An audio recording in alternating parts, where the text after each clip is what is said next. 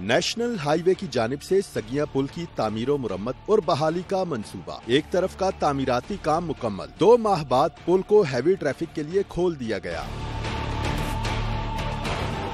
पुल की एक साइड पर लगे 18 जॉइंट तब्दील किए गए। सगिया पुल पर जारी मरम्मती कामों के बायस हैवी ट्रैफ़िक का दाखला ममनू था। लाहौर से शेखुपुरा जाने वाली पुल की साइड को ट्रैफ़िक के लिए बंद किया गया था।